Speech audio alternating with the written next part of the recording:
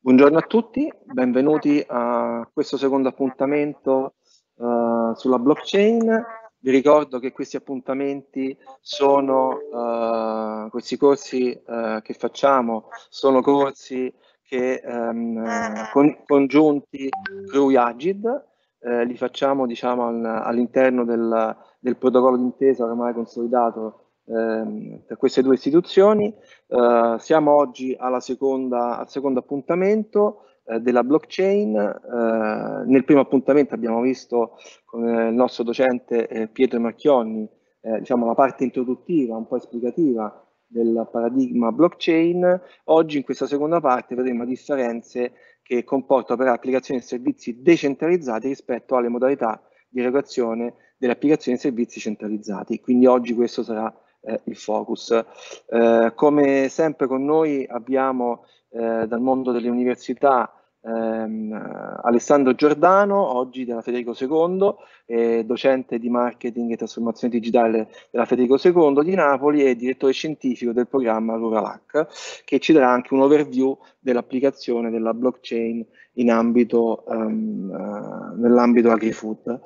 Um, Prima di dare la parola eh, al nostro relatore, quindi a Pietro di Agid, eh, per iniziare, eh, vi ricordo come sempre che eh, i nostri incontri sono registrati, ehm, la registrazione poi sarà resa disponibile sul nostro sito, così come anche le, eh, le vostre domande a cui cercheremo di rispondere oggi, eh, ma che comunque pubblicheremo in forma di, di FAQ sul nostro sito.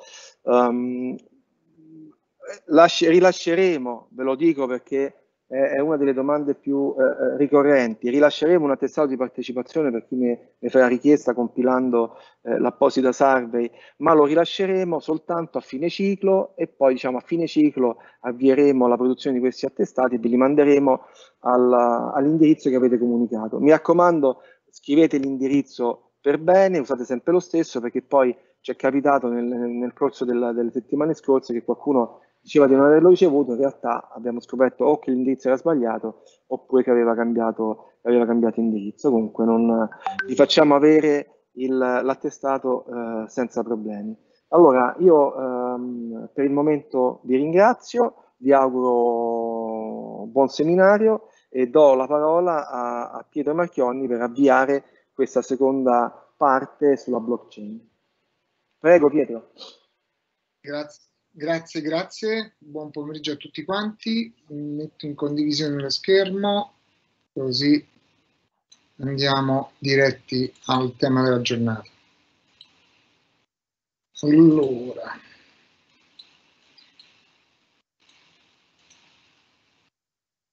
Ok, come anticipato, oggi mh, passiamo un po' dalla, dalla parte un po' di spiegazione di base del, della tecnologia blockchain a mh, dare un, maggiori dettagli su um, quali sono le, gli utilizzi di questa blockchain. Dando via slide diamo un po' la base, ma poi mi piacerà dare degli esempi diretti su come, su come questa tecnologia verrà, viene utilizzata. Quindi parliamo di, delle DApps, dei token e del contesto regolatorio per, per queste tecnologie. Mm, ho messo due slide per ricordare a chi non fosse eh, stato presente la volta scorsa, non avesse avuto tempo di vedere il, il, la presentazione, cos'è una blockchain, che è un registro, un po' come i registri quelli contabili di una volta, dove tutte le informazioni vengono messe in concatenate con una sequenza di blocchi una dietro l'altra, blockchain. Quindi ogni blocco è aggiunto solo in base al famoso consenso tra tutti i partecipanti alla blockchain. Semplicemente questo. Una DLT è una blockchain. È un po' più generalizzata perché, perché eh, non è detto che le ultime tecnologie che stanno uscendo abbiano una struttura a blocchi, ma strutturano i dati in un altro modo. Ecco perché è stato generalizzato il nome come eh, Distributed Ledger Technologies, che vuol dire tecnologia registri distribuiti. Siccome oggi parliamo di decentralizzazione, ho voluto ricapitolare anche la differenza tra decentralizzazione, distribuzione e centralizzazione, minima centralizzazione abbiamo un sistema che gestisce i servizi verso l'esterno, che è il classico modello client server. In un sistema distribuito il server può essere distribuito su più uh, nodi o servizi affinché possa gestire comunque lo stesso, lo stesso, le stesse informazioni nello stesso servizio, ma comunque dal punto di vista logico è tendenzialmente centralizzato, in un modo, in un modello decentralizzato il, la decisione non è più decisa, non è più presa in un singolo punto, ma viene presa con un consenso di più eh, parti che fanno parte di questo processo decisionale. Un'altra volta ricordiamo che blockchain possono essere pubbliche, permission e private, tendenzialmente per quanto riguarda la parte delle, dei servizi pubblici andiamo nel, nel, nel modello permissioned, quindi in quello centrale, dove l'accesso in lettura è pubblico e quindi tutti possono accedere ai sistemi, ma in scrittura è basato su permessi. Quindi fondamentalmente chi può scrivere informazioni su queste blockchain è mh, prevalutato affinché le informazioni siano messe siano all'interno di un certo contesto. L'esempio classico è quello che abbiamo fatto anche l'altra volta della blockchain europea EBSI. Dopo il velocissimo recap, ehm, voglio dare una piccola mh, differenziazione perché anche in questo caso ho trovato molta confusione in giro tra la differenza tra wallet e account.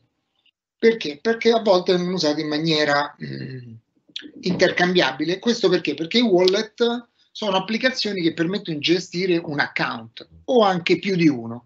Molte volte gestiscono un solo account e quindi c'è una corrispondenza, un utilizzo uno a uno tra wallet e account, però il wallet è tendenzialmente un'applicazione web o mobile o che gira su un altri sistemi, ma che gestisce gli account.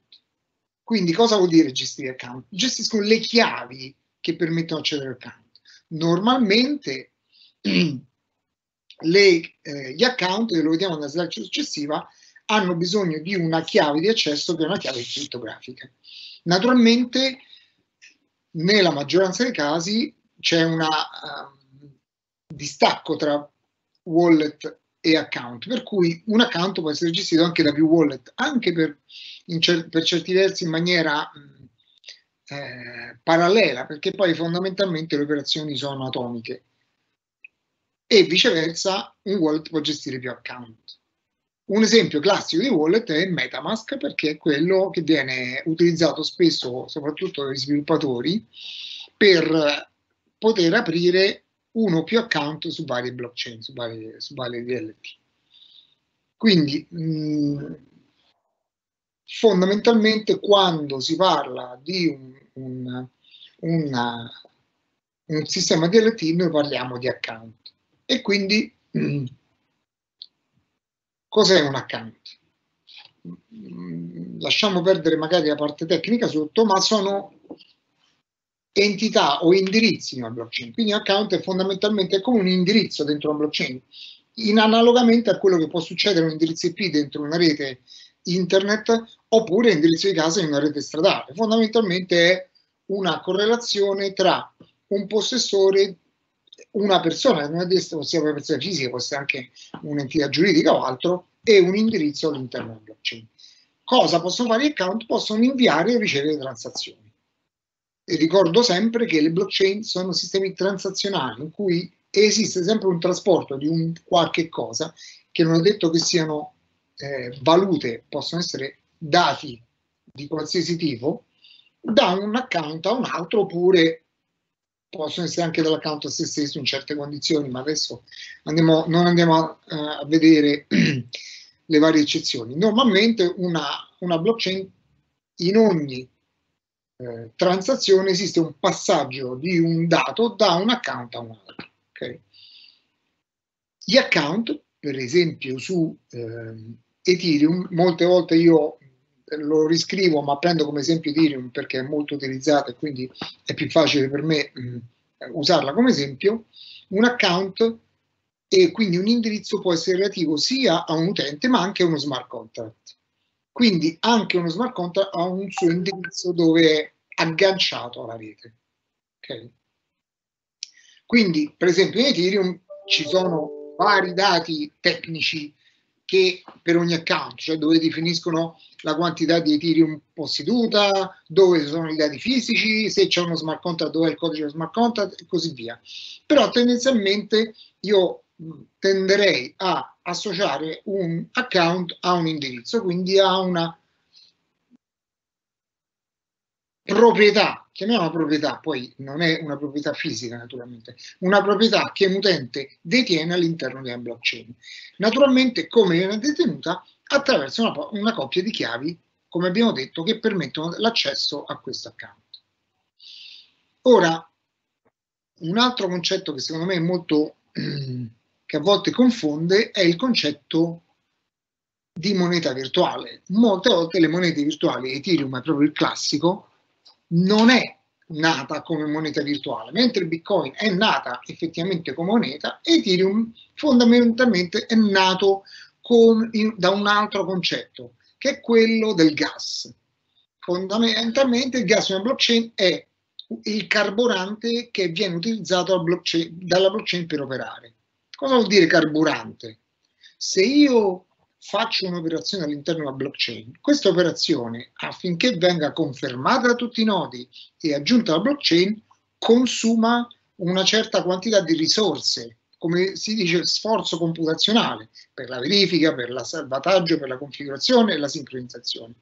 Questo sforzo computazionale è misurato dal gas, quindi il gas proprio prende quel nome proprio perché è come il carburante in un'automobile. Quindi quando io faccio una transazione su Ethereum, gli associo una quantità di gas che mi serve affinché questa transazione possa operare. È come se mettessi abbastanza benzina alla macchina per fare Roma-Milano. Okay. Naturalmente se ne consumi meno il gas eh, mi rimane, se ne consumi più non arrivo a destinazione. Quindi il gas è esattamente quello. Che succede? Su Ethereum il gas viene pagato con la moneta di Ethereum, che in questo caso è Ethereum, ha, lo stesso nome della, della, dell'infrastruttura. Quindi gli Ether, quindi la moneta virtuale di Ethereum, non è nata come cryptocurrency, ma è nata come modo per pagare il gas, quindi per pagare le transazioni sulla rete. Poi naturalmente è, è stata utilizzata anche in altro modo. E questo perché? Perché il gas un, è un fattore fondamentale all'interno della blockchain. È uno dei fattori che permette a una blockchain di essere sicura. Vi faccio un esempio. Se io avessi uno smart contract che consuma un gas infinito in cui non viene considerato il gas, questo smart contract potrebbe prendere in maniera infinita, ciclare, prendere tutte le risorse della blockchain e quindi bloccare l'intero, l'intero, uh, l'intera network. Quindi il gas normalmente ha anche un limite, cioè c'è un limite di gas utilizzabile per ogni transazione. Questo permette agli software, quindi ai smart contract che operano all'interno della blockchain, di essere eseguiti all'interno di un contesto, quindi non poter consumare troppo. E quindi da un lato è una misura del reward, quindi della, del costo che viene dato da chi propone la transazione a chi la gestisce per eseguirla dall'altro anche le misure di sicurezza e di stabilità per una DLT. Come vedete, dal punto di vista informatico non ha nulla a che vedere con le monete virtuali. Naturalmente poi Ethereum è stata utilizzata come moneta virtuale per eh, pagare questo gas, naturalmente per pagare Ethereum si sono usate eh, monete fiat, quindi monete normali, l'euro, il dollaro e quindi c'è stata la moneta è stata utilizzata anche in altri modi.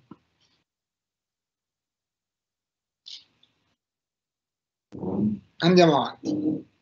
Quindi mm, abbiamo parlato di smart content, ne abbiamo parlato l'altra volta, questa è la stessa presentazione l'altra volta, la stessa scusate, slide dell'altra volta. Gli smart contract sono piccoli pezzi di software che possono lavorare all'interno della blockchain.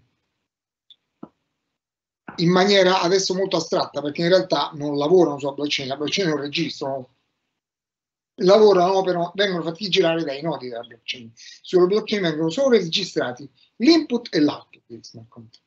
Quindi, come abbiamo detto, i smart contract hanno sia un indirizzo, e l'abbiamo visto nella, nelle slide precedenti, quindi un address, e hanno anche un costo, un gas, un costo di esecuzione.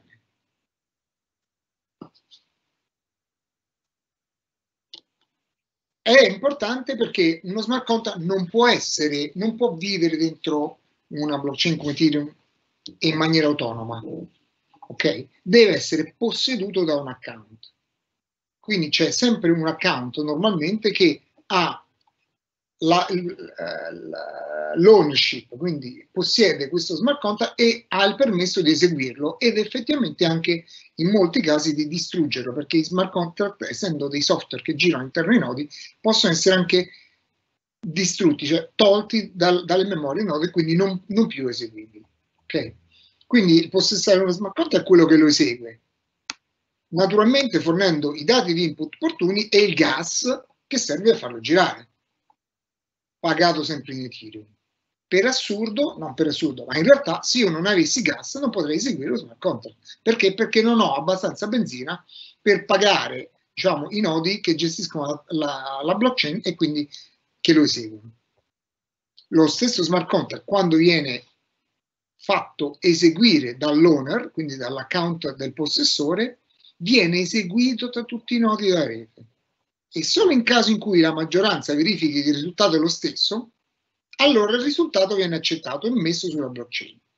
Quindi non è lo smart contract fisicamente che sta sulla blockchain, sono i risultati della transazione in input e in output, normalmente in output, che vengono messi nella, sulla blockchain come risultato di quella operazione.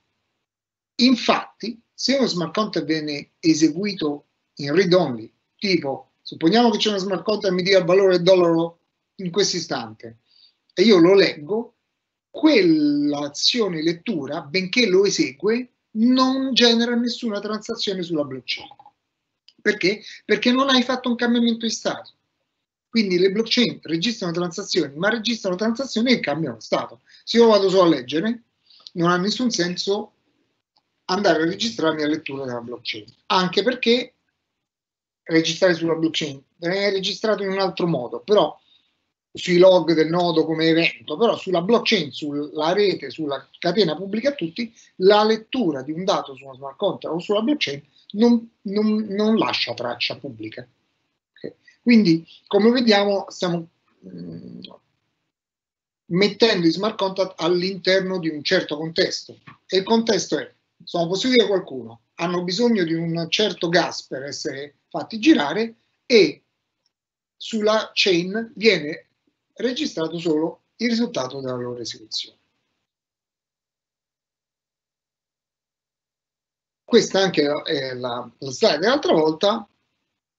Gli smart contract sono evoluti nel tempo e sono nati oracoli, Decentralized Application, le DAC, che sono Decentralized Autonomous Corporation, e le DAO, che sono organization, che sono fondamentalmente una generalizzazione delle corporation.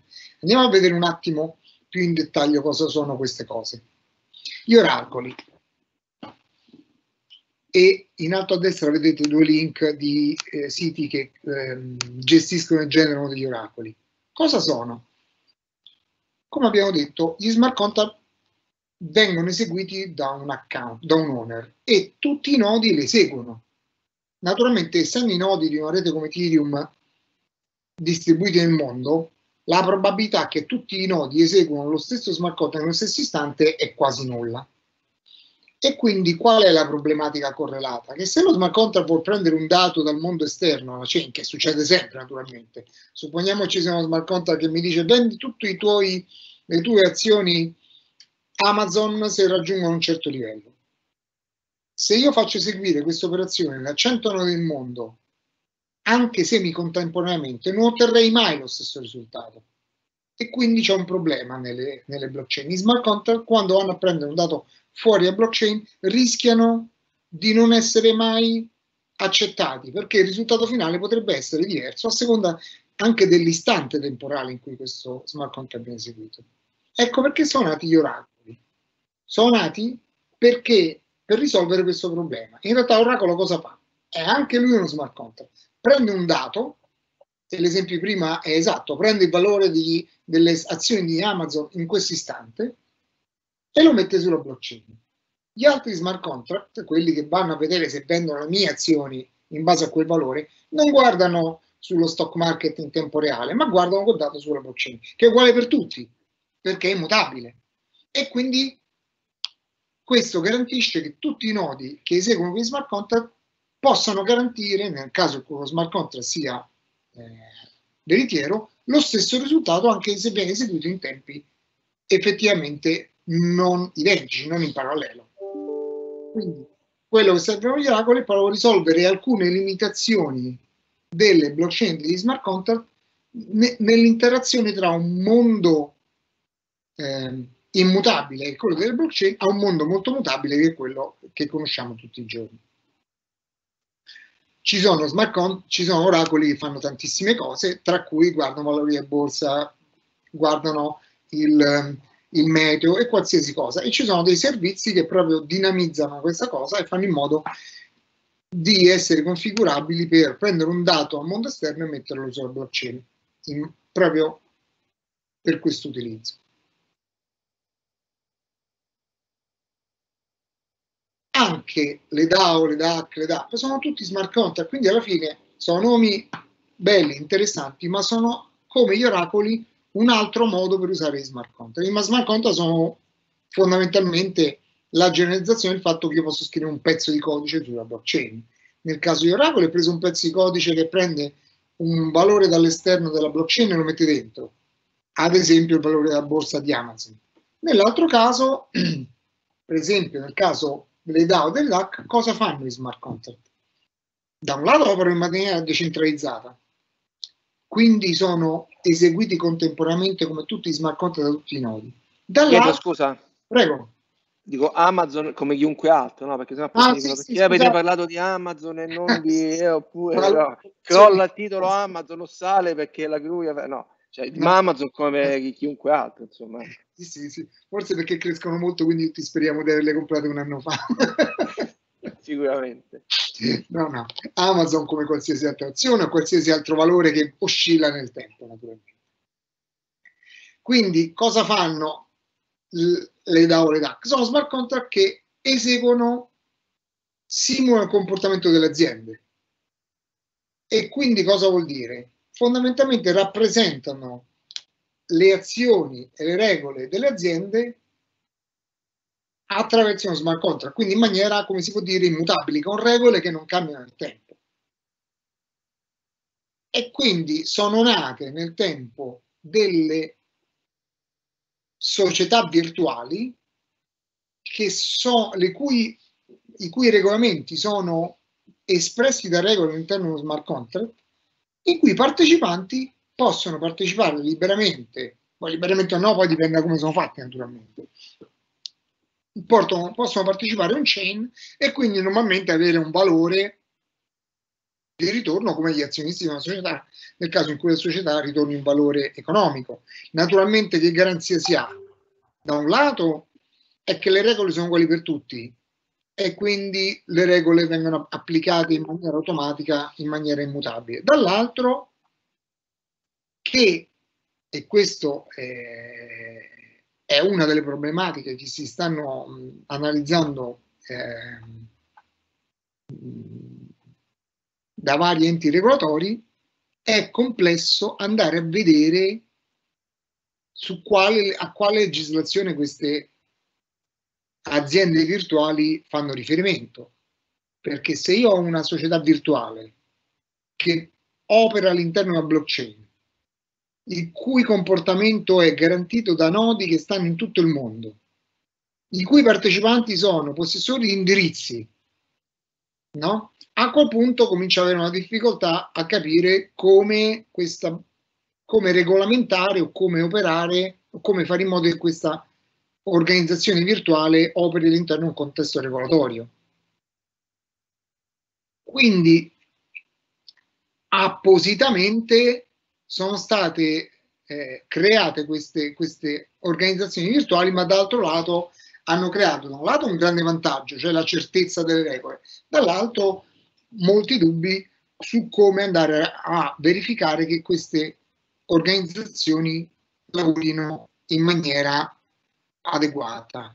Vi faccio un esempio che sta andando molto in modo ultimamente, si chiamano DeFi, Decentralized Finance. Supponiamo che io voglia avere un... Um, ho i miei bitcoin o Ethereum o qualsiasi altra moneta virtuale e voglio fare il trading su bitcoin. Posso andare in un sito di quelli che fanno trading, ce ne stanno centinaia online, registrarmi, naturalmente secondo la legge devo fare tutti i processi know your customer e dopo aver fatto questa azione mi metto lì a fare il mio trading. A quel punto io ho un problema, due problemi. Uno, che naturalmente sono all'interno già di un contesto regolatorio e che per me va bene, ma per altre persone potrebbe non andare bene. Il secondo problema qual è? È che quel sito, quel gestore si prende, come tutte le banche, come tutti i gestori, una fetta, un fee per, ogni, per ognuna delle mie transazioni. Sono nate dei gestori di compravendita di monete virtuali che non esistono fisicamente, sono smart contract.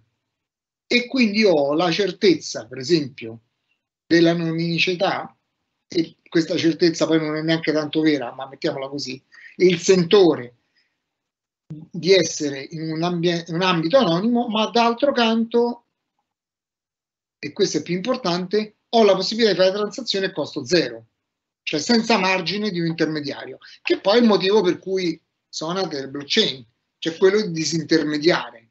Quindi molti eh, sistemi di trading online che sono nati, adesso si trovano la, la concorrenza giusta, giusta dal punto di vista logico della blockchain, delle blockchain stesse, cioè delle, delle tecnologie che usano, perché le blockchain sono proprio nate per disintermediare questi operatori.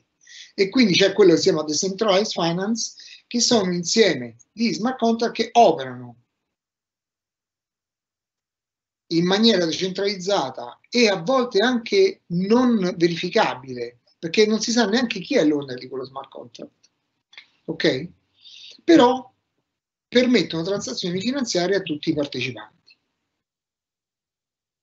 È importante per noi avere coscienza di questo perché dobbiamo avere coscienza, ecco perché abbiamo mh, mm, tenuto un, un, minimo di più, eh, messo un po' più di tempo su questo, su questo concetto, perché questo va crea dei problemi eh, di, eh, regolamentari non indifferenti.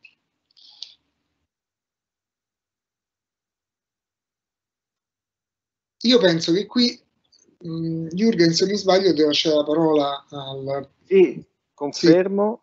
Ringrazio Pietro per eh, diciamo questo primo, eh, questa prima eh, parte, mentre eh, diciamo eh, carico il, il, materiale, c'è un video che vorremmo mandarvi prima dell'intervento del professor Alessandro Giordano, ti, ti, ti, leggo la domanda delle domande così nel frattempo ci pensi. Eh, buongiorno a tutti, allora eh, Simonetta De Felicis, buon pomeriggio a tutti e grazie agli organizzatori. La domanda è chi farà e come si farà una corretta alfabetizzazione di tutte le persone anziane o poco informatizzate? Ecco, io su questa domanda mi preparo intanto la, la condivisione così complessa. La Se condivisione, cioè, sì, di, base, di base l'anziano medio non conosce come funzionano i siti web, gli indirizzi IP e tutto. Naturalmente tutti questi sistemi hanno bisogno, come i sistemi di oggi, ma anche quelli di ieri, certo non, non chiediamo agli anziani di andare a mettere schede perforate eh, 40 anni fa nei calcolatori, hanno bisogno di un'interfaccia che disintermedi questa complessità dal, dalla vita quotidiana dei cittadini. Quindi è una domanda giustissima e quell'interfaccia, quel che nel caso precedente degli address era il wallet, sarà sempre necessaria naturalmente. Ecco. Ti lascio la parola, Jürgen. Sì, allora, intanto eh, avviamo il video, un secondo soltanto. Allora, facciamo così. Ci siamo quasi. Ecco qua. Siamo qui a Casella in Pittari perché da un po' di anni eh, un gruppo di giovani appassionati da un pugno di piani antichi ha messo su tutto un sistema di imprese embendate, quindi cooperanti con le comunità, eh, per riattivare le comunità sulla base diciamo, della coltivazione di quelli che oggi sono definiti grani antichi. E quindi la necessità di oggi in questa contemporaneità, nella, nell'idea di voler vivere ancora di relazione con la terra e quindi di agricoltura, eh, ha una necessità di fondo, quella là di farle le cose, di farle con, con una convinzione importante. Per creare questo ponte tra le tecnologie e le necessità quindi del, di questa comunità abbiamo dovuto mettere in campo diverse forze, quindi abbiamo dovuto chiamare la comunità degli hacker, anzi degli rural hacker, Tuttavia questa volta si sono dovuti confrontare con un ambiente ben diverso e hanno dovuto lavorare sodo prima di poter dire la loro per conquistarsi anche la fiducia delle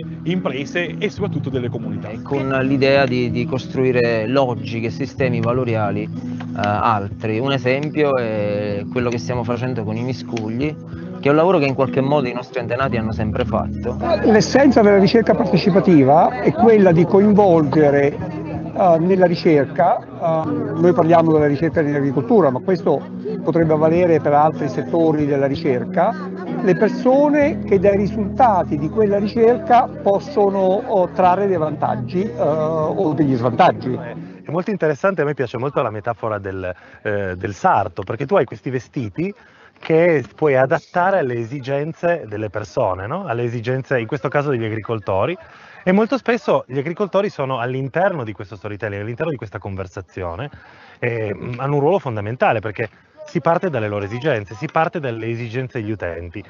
Se vogliamo macinare a pietra, e macina a pietra dobbiamo applicare tutta la tecnologia a monte della macina a pietra che va dal selezionatore ottico, dalla, dalla tavola gravimetrica, tutta la tecnologia che adesso c'è per avere una galiosside sana per essere poi macinata. Visto da quest'ottica, tradizione e innovazione non sono più eh, due due sensi antitetici, ma in qualche modo recuperano il valore, se vogliamo, anche etimologico, quindi della tradizione, quindi del tramandarsi e quindi l'innovazione la tradizione sono sempre un passaggio di mani in un'ottica evolutiva. Grazie mille, grazie per aver condiviso questo video che eh, è servito un po' a, eh, a spezzare anche il ritmo di una, di una lezione densa, ma devo dire tra le migliori che io abbia ascoltato in questi anni sul, sul tema e su questo non posso che fare i miei complimenti eh, a Pietro Marchioni e all'organizzazione. È un tema complesso, eh, davvero Pietro complimenti perché credo che sia la prima volta che eh, credo si sia riuscito a comprendere eh, pur nella sua completezza eh, questo tema. E, mh, non è un caso che questo video arrivi anche un po' a valle, se vogliamo, della domanda posta dalla nostra ascoltatrice, quindi eh, come dire, avete visto qui dei giovani ricercatori dell'Università Federico II che cercano di far dialogare sulle tecnologie 4, dialogare di tecnologie 4.0 con dei contadini delle aree interne delle aree rurali. Come vedete io vi parlo dal polo tecnologico di San Giovanni a Tedduccio dove tra le varie cose noi abbiamo questo laboratorio eh, che si chiama Societing 4.0 che si occupa proprio di questo, cioè di, di, fare la mediazione culturale, simbolica rispetto alle innovazioni tecnologiche con la società. Quindi la, l'ascoltatrice parlava di anziani, abbiamo visto qui dei, eh, dei contadini, c'è quindi il discorso, eh, c'era pensato, quindi gli organizzatori avevano pensato interessante far calare a terra quindi questo discorso che per sua natura ha a che fare con il massimo delle dinamiche dell'immateriale, con un reparto strategico, un comparto strategico che è quello dell'agri-food sostanzialmente, che eh, paradossalmente è quello che maggior, può trarre maggiori vantaggi eh, da questa nuova tecnologia. Quindi avete visto il, dalle parole di questo video mi sono appuntato tre cose. Il primo è eh, coinvolgere eh, nella ricerca, fare una ricerca partecipata che eh, dialogare, quindi raccontando i vantaggi e gli svantaggi di chi può subirli o avvantaggiarsi appunto di questa tecnologia ed è stato quello il modo con cui abbiamo parlato a quei contadini.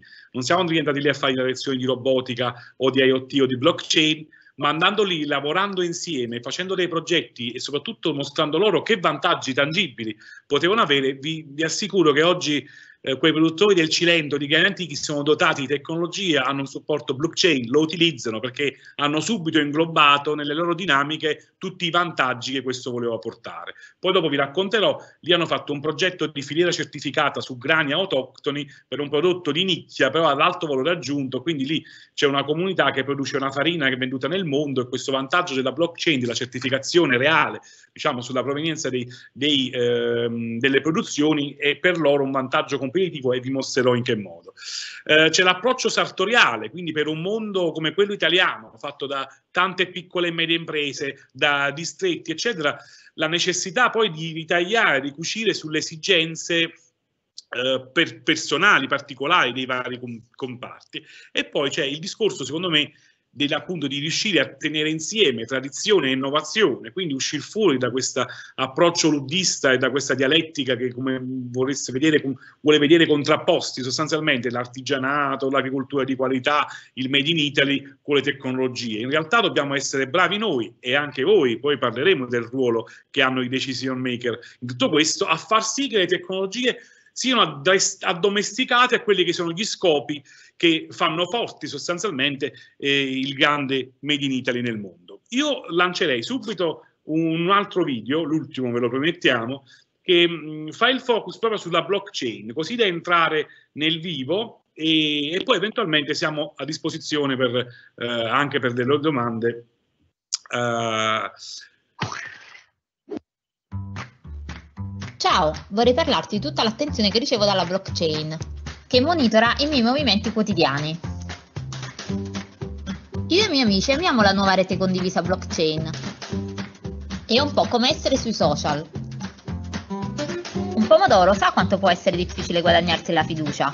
Una volta che ti trovi nella compagnia della blockchain è facile mescolarsi. Anche a noi pomodori piace sapere che i nostri dati sono al sicuro la blockchain sigilla il coperchio montando questa sicurezza e ha un protocollo di validazione dei dati che garantisce un sistema praticamente inespugnabile da qualsiasi violazione. La rete peer-to-peer decentra e semplifica il processo, eliminando intermediari.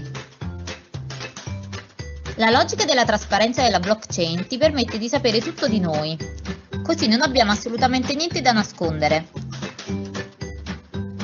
e i dati di ogni nostra transazione sono bloccati. Nessuno può cancellarli o modificarli anche volendo. Puoi sapere dove siamo cresciuti e quali sono stati i nostri viaggi lungo tutta la filiera, perché puoi facilmente tracciarci. Potresti anche vedere in quale azienda agricola siamo cresciuti, come ci hanno nutrito e dove siamo stati lavorati prima di arrivare sugli scaffali del tuo supermercato. La blockchain consente di identificare le violazioni sulla sicurezza, proteggendo i consumatori da potenziali pericoli. L'accesso istantaneo ai dati, per esempio sui volumi di vendita o sui tempi di consegna, consente ai clienti di avere una maggiore trasparenza sui prodotti. Gli smart contract abilitano l'attivazione automatica delle transazioni, in base a istruzioni preimpostate. La blockchain semplifica la gestione della catena di approvvigionamento, eliminando inutili intermediazioni, Unire i due mondi, del cibo fisico e di quello digitale, è una delle molte sfide strategiche che la blockchain o qualsiasi altra tecnologia digitale utilizzata per questo scopo ad oggi affrontano. La blockchain è una tecnologia ancora giovane, non ancora soddisfacente in termini di performance o di capacità di diffusione. È necessario sviluppare casi d'uso per definire le soluzioni architetturali migliori e le migliori misure di sicurezza. La blockchain offre significativi miglioramenti nel settore dell'agri-food, che meritano di essere approfonditi accuratamente.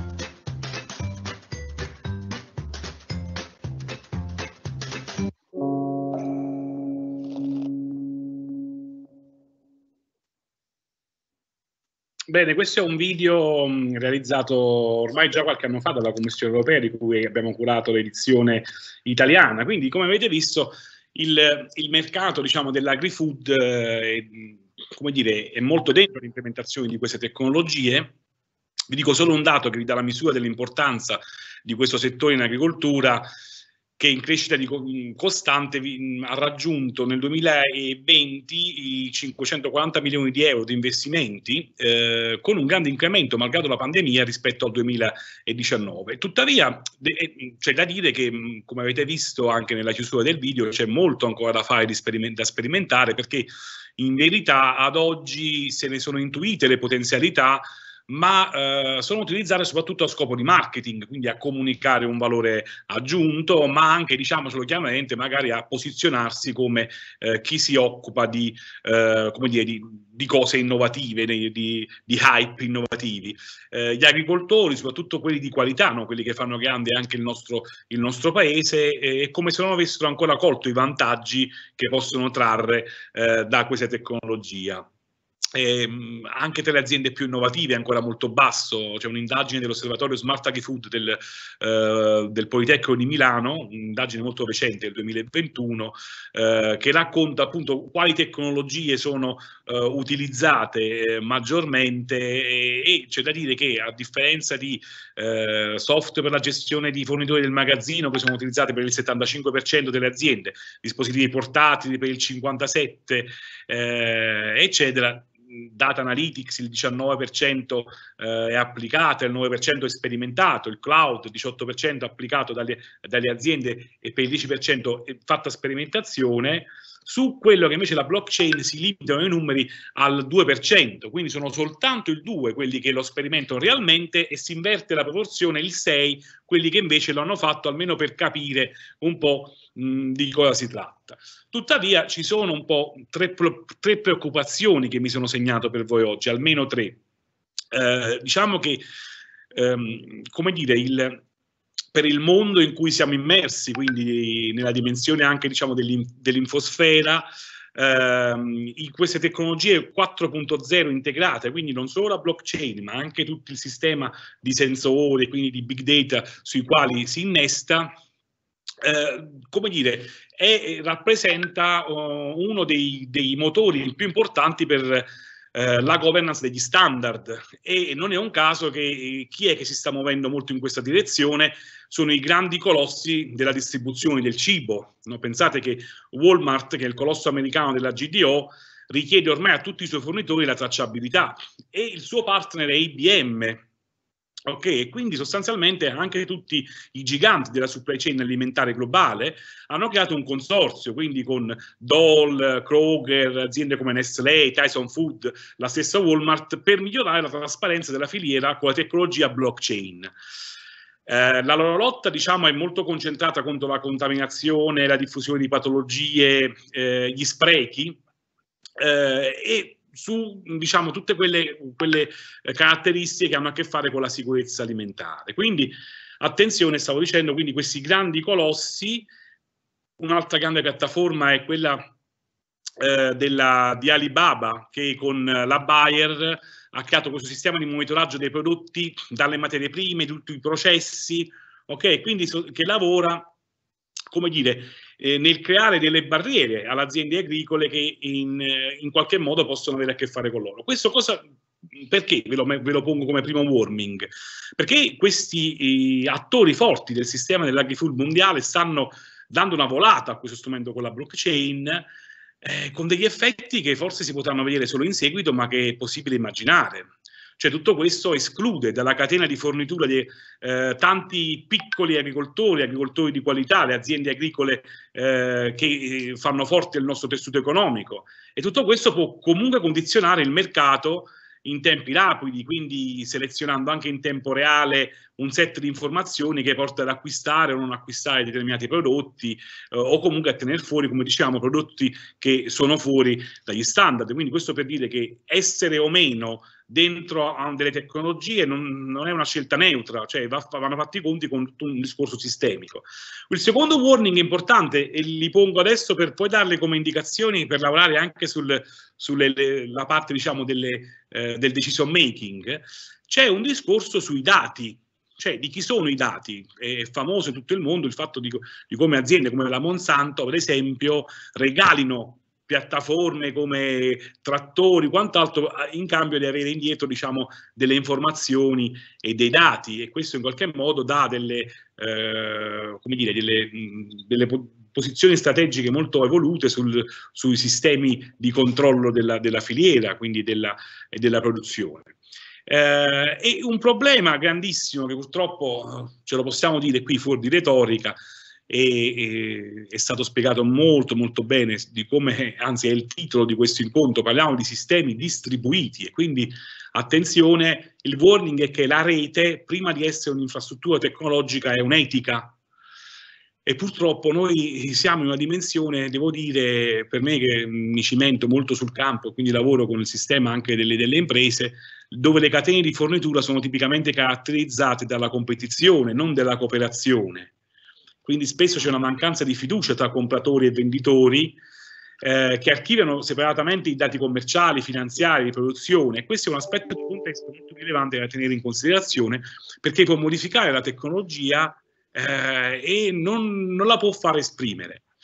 E io direi di basare il tutto, diciamo, il, una strategia potrebbe essere quella di fare un po' un racconto, una narrazione della tecnologia partendo dai vantaggi potenziali, anzi reali, che può avere verso gli, utilizzatori. Quindi questo significa che gli agricoltori, le aziende agricole sono avvantaggiati eh, sui pagamenti delle assicurazioni in caso di danni climatici, eh, possono tutelare le loro proprietà in seguito alla registrazione dei terreni, tracciare la provenienza dei prodotti eh, per evitare quindi il commercio illegale.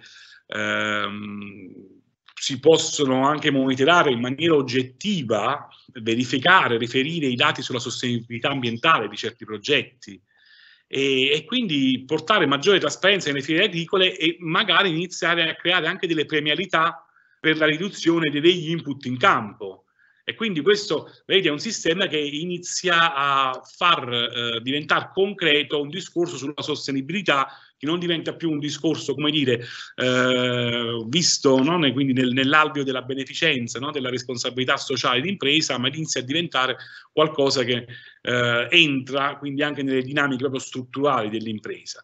Io credo, come diceva il video della Commissione europea, che è importante che voi facciate promotori di casi, di casi d'uso e di sperimentazioni concrete questo ci aiuterebbe molto, quindi eh, creando questa sinergia tra il mondo dell'università, il mondo dei decision maker e il mondo delle, delle imprese sostanzialmente, quindi un po' come noi lavoriamo all'interno del nostro laboratorio, ci dà la possibilità di eh, mettere a fuoco delle, delle soluzioni utili, cioè quindi capire quali problemi poi concreti può risolvere sui territori, no? l'avete visto nel primo video nei campi di grano, eh, quindi risolvere realmente problemi tecnici e tecnologici e perché no anche delle barriere culturali.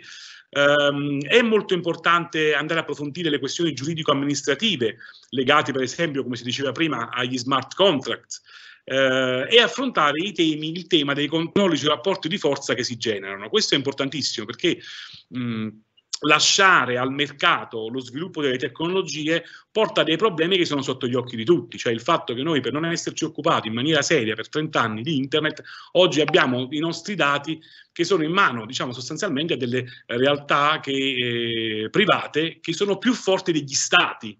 E quindi attenzione perché la blockchain invece, come abbiamo visto, è quella tecnologia che fa in maniera pervasiva entrare il digitale, quindi il dato digitale nel fisico e quindi non occuparci subito con urgenza eh, di questi aspetti significherebbe svendere non soltanto quindi l'importantissimo patrimonio immateriale dei dati, ma proprio le nostre produzioni. Quindi attenzione eh, di andare oltre quindi la retorica dell'innovazione to cure. Eh, ci sono delle, mh, quindi delle cose che si possono fare, quindi sperimentazione dal punto di vista tecnologico, abbiamo detto, e delle possibili interazioni. L'Europa sta facendo tanto su questo, ci sono diversi strumenti a livello del, eh, dell'Unione Europea. Mh, e altri che stanno per venire fuori, che hanno a che fare eh, per lo sviluppo di tecnologie blockchain per il settore agroalimentare, tra cui il programma di ricerca e innovazione Horizon Europe eh, e dei programmi quadro pilota proprio di un partenariato europeo sulla blockchain che vede anche l'Italia tra i partecipanti. Eh, è importante quindi una discussione, una sperimentazione sulla contrattualistica, gli scambi di denaro, quindi tutti i problemi della sicurezza, eh, della privacy, eh, ed è importantissimo cominciare a fare da parte vostra una riflessione sui dati da un punto di vista sia nazionale che locale, cioè c'è un problema di chi sono poi i dati di queste, queste, informazioni. In Italia abbiamo due casi belli emblematici, c'è uno in Regione Emilia Romagna con la Data Valley e c'è un'esperienza molto interessante che porta avanti la Camera di Commercio di Salerno proprio con il nostro Ateneo su una, uh, un data commons, cioè sulla raccol raccolta di, di, dati prodotti a diversi livelli, dati di mercato, dati di, dei sensori, dati uh, fatti dal, dai satelliti, per renderli fruibili al sistema della piccola e media impresa che non potrebbe averci accesso. Cioè, prima si parlava eh, di Amazon, cioè Amazon ha una potenza no, di poter eh, gestire, elaborare dati che non è quella della piccola impresa italiana. E quindi è importante che dei nuovi soggetti intermedi, anzi una rete di decisori, lavori a creare no? quindi questi, eh, queste architetture di dati e renderle fruibili, quindi per eh, data commons abbiamo chiamato come un, dato, come un bene comune, diciamo, a, um, ai pubblici, ai, alle sue aziende. Questo proprio per regolamentare e controllare, credo che sia un discorso importante, i rapporti di forza che una nuova tecnologia può portare uh, dentro. Che dirvi? Io mh, mm, mi fermerei qui, sono eh, a disposizione Grazie. anche per domande e approfondimenti. Inutile dire che queste tecnologie evolute devono aiutarci a prenderci cura dell'ambiente, del suolo, del clima, della biodiversità, dell'acqua e lo possono fare. Eh, possono aiutarci a controllare il lavoro pulito e la dignità delle persone, no? quindi ci sono dei progetti che lavorano anche verso il caporalato. Noi eh, banalmente mettere, incrociare i dati di quanto pomodoro è prodotto in un campo e di quante persone timbrano il cartellino per lavorarci fa capire se è verosimile o meno il rapporto tra lavoranti e produzioni, ma soprattutto possono eh, proteggere un patrimonio come quello del Made in Italy nel mondo che oggi eh, con fenomeni come l'Italian Sounding è messo eh, come dire, veramente sotto, sotto torchio perché noi abbiamo praticamente l'80% dei prodotti del Made in Italy comprati nel mondo sono finti prodotti Made in Italy, quindi sono dei fake, si parla di Italian Sounding, sono prodotti che sostanzialmente hanno un nome che ricorda eh, l'Italia, il parmesano, eccetera, ma sono prodotti in altre parti del mondo. Questo da un lato è un dato um, triste, dall'altro è un dato oggettivamente interessante perché ci dice che noi abbiamo ancora un mercato potenziale fortissimo okay, di persone pronte ad acquistare i nostri prodotti, ammesso che riusciamo a farci arrivare nel modo giusto e in maniera protetta. In questo la blockchain può dare una mano, ma purtroppo, così come la maggior parte delle tecnologie 4.0, non può essere lasciata soltanto alla singola impresa. C'è bisogno di fare dei progetti strutturali che tengano insieme il mondo della ricerca scientifica e tecnologica, il sistema impresa e sostanzialmente eh, le comunità.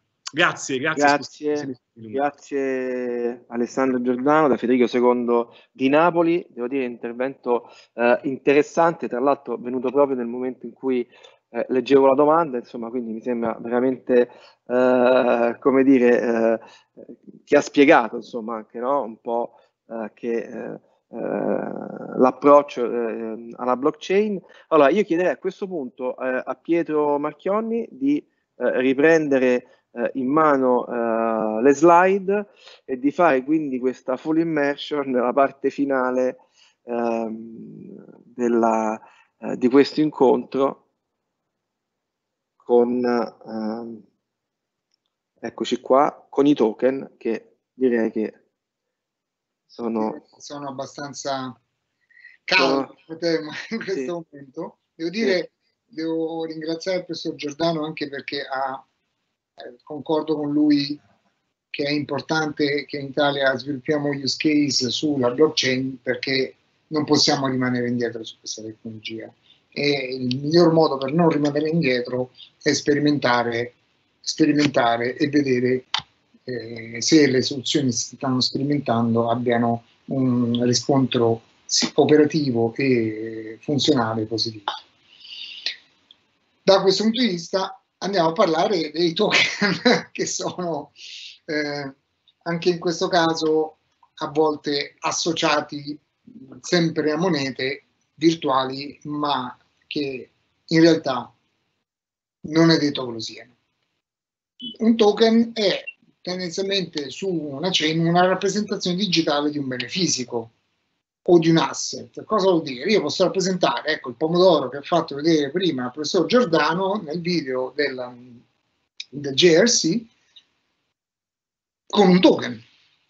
Quindi a rappresentarlo con un token. E effettivamente quando riesco a rappresentare un bene fisico, naturalmente è difficile che si va pomodoro per pomodoro, ma si va, andrà sicuramente per eh, forniture di tonnellate di pomodori o quello che sia, affinché questo token possa essere scambiato alla, lungo tutta la catena del valore.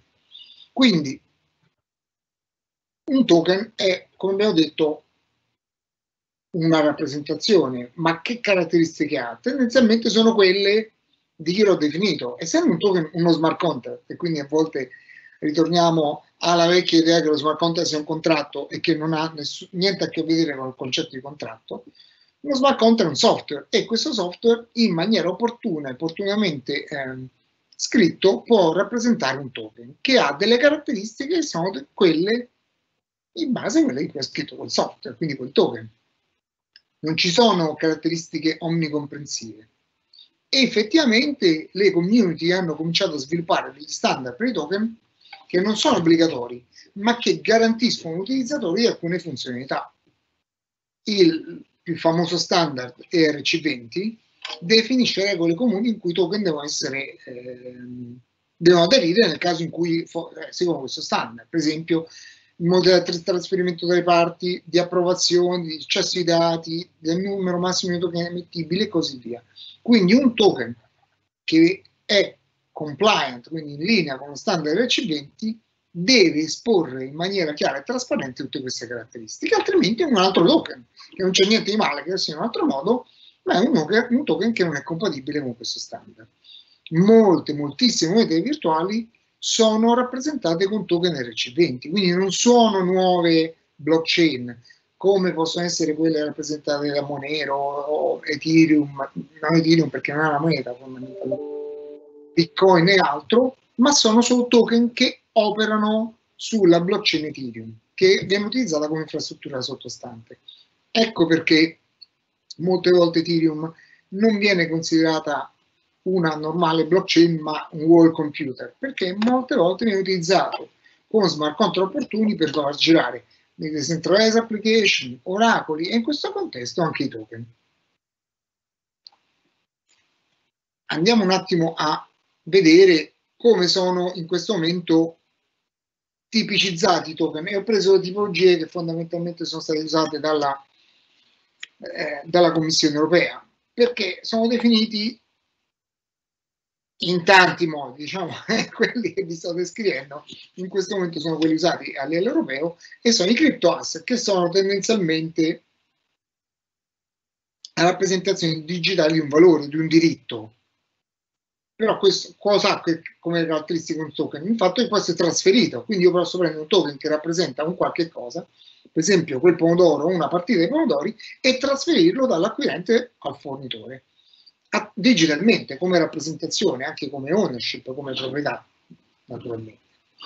Poi ci sono gli utility token, che sono dei crypto asset che gestiscono, per esempio, un accesso a un bene a un servizio, quindi sono token di utilità, disponibile, non disponibile, ma disponibile a DLT, che ho scritto male, ma naturalmente che caratteristiche hanno? Che deve essere esclusivamente accettato dall'emettitore dello stesso token, quindi non può essere scambiato con emettitori terzi.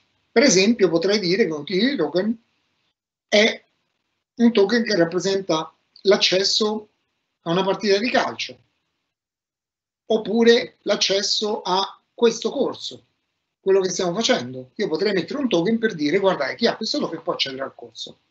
Tendenzialmente chi accetta questo token è solo la CRUI perché è gestito come utilità del, del, del servizio di cui stiamo facendo parte adesso. Altri token vengono definiti asset reference token, che sono i che hanno un riferimento a delle monete, a delle commodity o a una combinazione di queste qua. Ecco perché questi si chiamano anche stable coins, cominciamo ad andare più su token che rappresentano le monete, oppure non rappresentano moneta, ma sono uno a uno col valore del petrolio, del barile di petrolio, tendenzialmente rappresento un un token che ha un valore economico. Okay. E questi cominciano a cadere dentro le varie regolamentazioni che si stanno sviluppando relative alle monete virtuali. Ultimo, i money token, che fondamentalmente è una moneta virtuale, che è usata come mezzo di scambio e che consente di mantenere un valore stabile attraverso il riferimento a una moneta fiat, per esempio al dollaro, all'euro, a quello che sia. Quindi come vediamo passiamo dai token che possono essere utilizzati per partecipare a un corso come questo qui della DLT ai token che sono veri e propri monete virtuali. Quindi sarebbe sbagliato associare in ogni caso un token a una moneta perché sono rappresentazioni digitali di qualsiasi cosa. E quindi, eh, andando di fuori delle monete virtuali, che sono un tema anche molto scottante e in fase regolatoria, come possono essere usati i token? Per esempio, molti sono usati nel mercato energetico. Noi sappiamo adesso, anche con le nuove leggi che ehm, ehm, supportano lo, la ristrutturazione dei nostri palazzi e molte volte permettono anche di eh, mettere pannelli solari o eh, generatori fonti energetiche alternative all'interno dei propri, delle proprie proprietà, le persone o i condomini o quello che rappresentano diventano quelli che si chiamano prosumer. Non sono più consumer, non sono più consumatori, ma cominciamo a essere da un lato sia produttori che consumatori. A questo punto è complesso un sistema andare a passare da un sistema in cui c'erano 4-5 fornitori di energia in Italia a un sistema in cui tutti sono fornitori e tantissimi sono consumatori. Un sistema così è rappresentabile e gestibile bene con una rete peer-to-peer che fondamentalmente è una blockchain.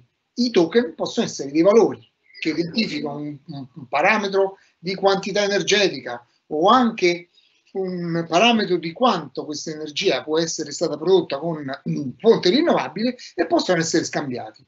Come si scambiano anche a livello globale i token, i, eh, i certificati verdi eh,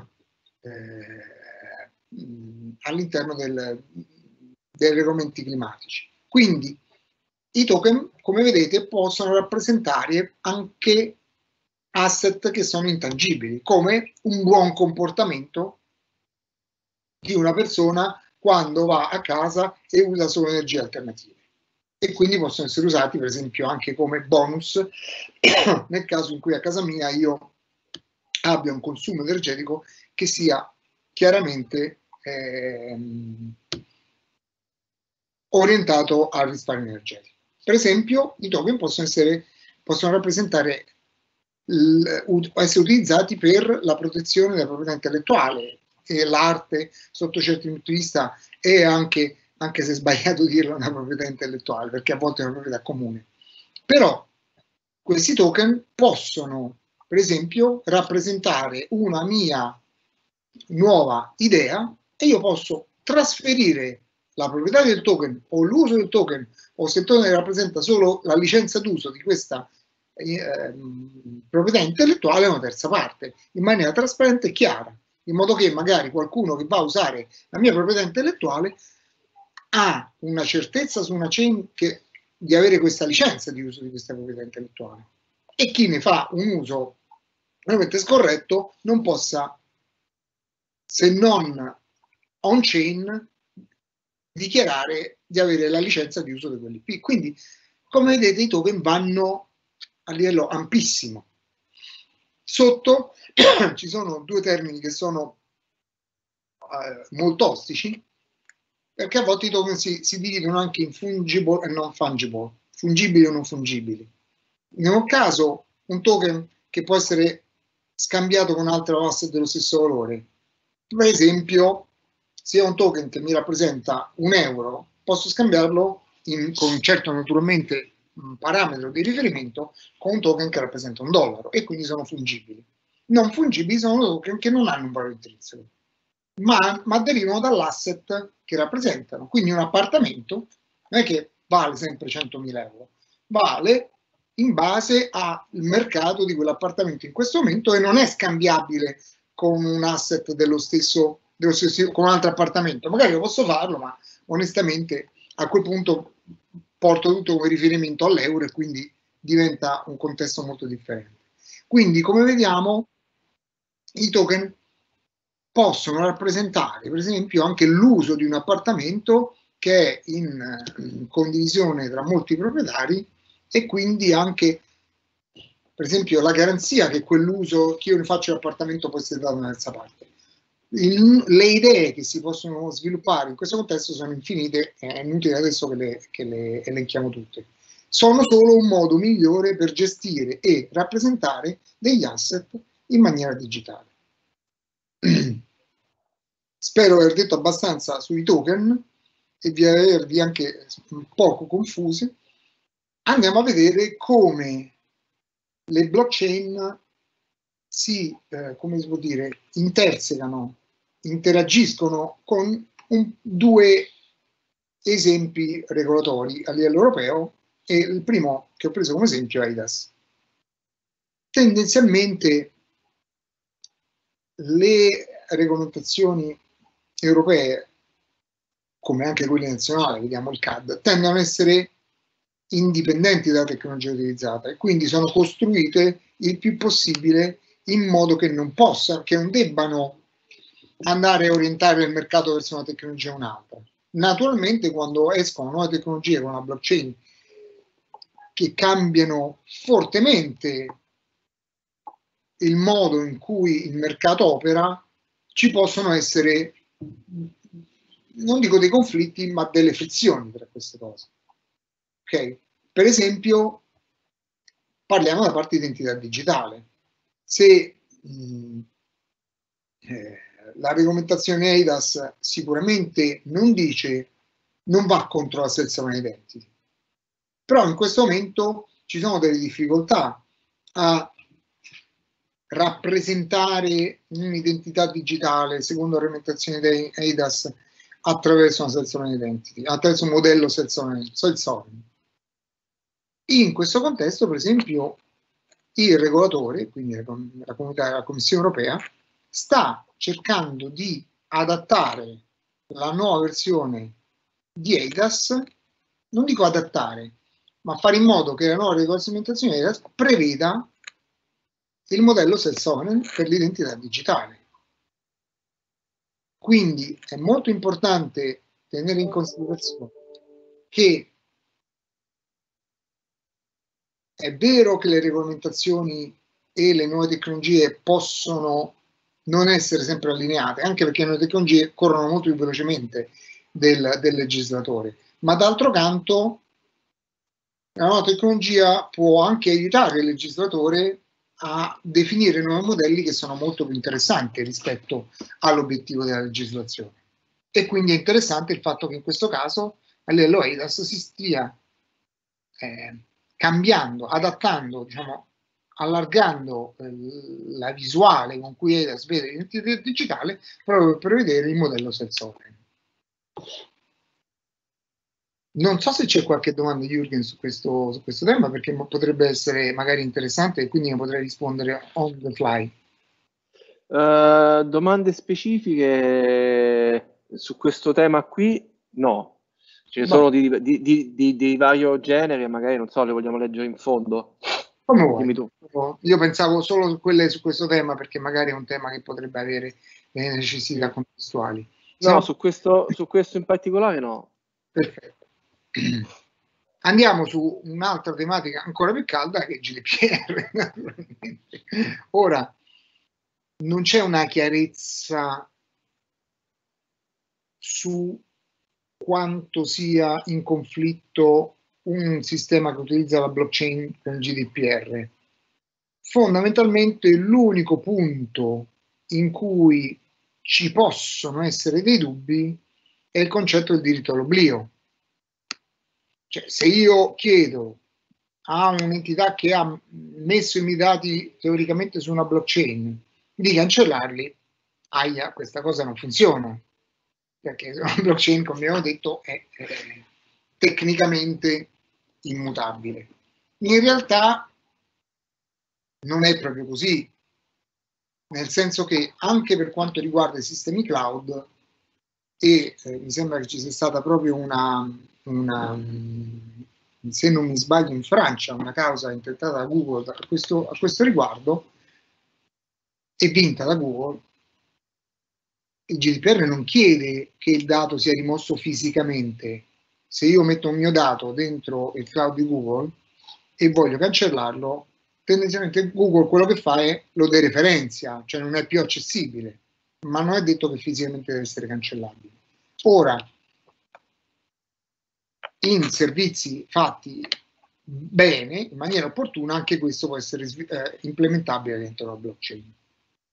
Quindi non c'è un conflitto uno a uno. Naturalmente in questo momento per prudenza, perché poi chi sviluppa soluzioni in blockchain e tratta dati personali ha un livello di prudenza anche un passo in più rispetto a quello che è opportuno e quindi è giusto che sia così, si tendono a non mettere dati personali all'interno della blockchain, ma solo dei riferimenti ai dati personali. Ricordo che tante funzioni della blockchain comunque, per esempio in concetti senza un'identi, come diciamo prima, invece potenziano l'implementazione del GDPR. Perché per esempio su una blockchain io potrei memorizzare sia il permesso che il, il, la rescissione del consenso all'utilizzo dei miei dati personali. E se messo a quella data quell'ora in posto immutabile, nessuno mi può venire a dire che quel consenso o quella rescissione del consenso non è stata data da me in quel momento come diciamo eh, nel caso del selezional identity, il principio di minimizzazione dei dati, per cui io posso consentire a una terza parte di vedere i miei dati, un sottoinsieme dei miei dati, sempre verificabile, sempre eh, eh, certificabile, è un'implementazione diretta del principio di minimizzazione del GDPR. Quindi, da un lato c'è una certa frizione, Dall'altro c'è anche una grande eh, capacità di implementare la regolamentazione sulla privacy grazie a queste tecnologie. Poi ci sono ehm, eh, dizioni, secondo me, che vanno eh, sull'assurdo quando si parla di quantum computing, quando alcuni mi vengono a dire ah ma se tra vent'anni la blockchain arriva quello quantum computer e si va a vedere i dati potrebbe aprirli. Onestamente da un lato non mi sembra che sul GDPR chieda di prevedere il futuro. Dall'altro grazie a Dio questi sanno che tra vent'anni c'è un computer quantistico che riesca a fare queste cose a me non risulta che sia così vicino. Magari farà 3x3 invece che 1 più 1 ma lo farà e poi mi chiedo se qualcuno dovrebbe spendere un quartino quantistico per aprire magari il certificato di nascita tuo quando magari va al comune e se lo fa dare in maniera aperta e gratuita. Quindi onestamente queste cose bisogna anche contestualizzarle. Ricordo che ci sono funzioni esistenti oggi che sono intrinsecamente quantum resistant e quindi certe mh, mm, richieste futuribili e poco poco pratiche sicuramente lasciano il tempo che trovano. Ehm, quindi, per ricapitolare, non ci sono grandissime frizioni tra GDPR e blockchain, tranne per quanto riguarda il diritto all'oblio. In questo contesto è consigliabile usare blockchain permissioned, che vuol dire che io potrei anche definire ad esempio una blacklist per cui quel dato non è mai accessibile a nessuno, su una blockchain permissioned invece che pubblica, e dove possibili i dati off-chain, come si dice. Non so se ci sono domande a riguardo, io chiedo sempre, perché questo è ancora un tema ancora più caldo del precedente. No, al riguardo no, c'è qualcosa sull'identità. avrei un, un, commento. Antonio, sì, Antonio Cisternino, Università di Pisa, ah. prego.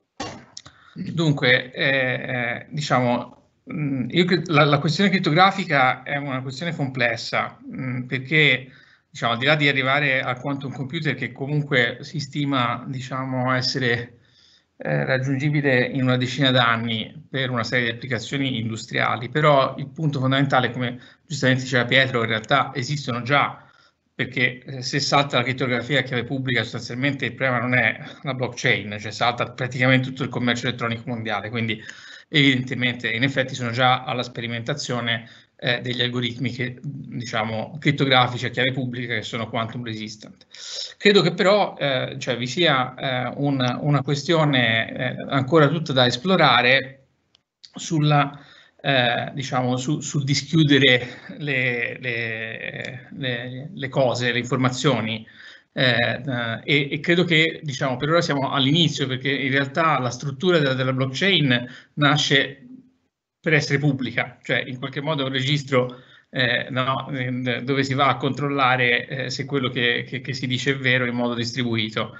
Eh, la parte della riservatezza è una parte complessa, eh, diciamo in, uh, in, chat c'era una domanda per esempio sul, sul voto elettronico, no? Eh, cioè il voto elettronico, sì. la, la, la, blockchain effettivamente può eh, garantire l'integrità, però una urna per sua natura deve essere quantomeno durante il voto eh, riservata, non può essere, diciamo, perché se uno può contare i voti mentre si vota, la cosa è un pochino complicata.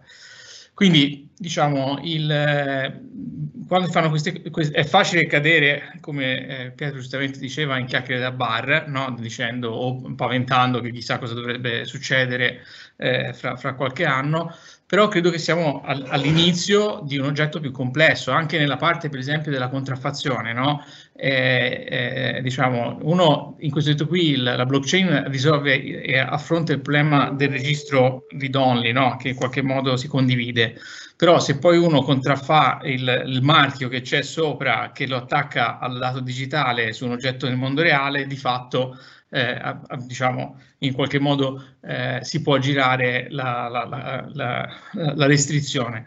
Qui eh, secondo me il punto vero è che eh, adesso intanto bisogna cominciare, come si vede eh, non è una passeggiata, cioè bisogna capire tanti, tanti, tanti concetti e non tutti sono stati impacchettati.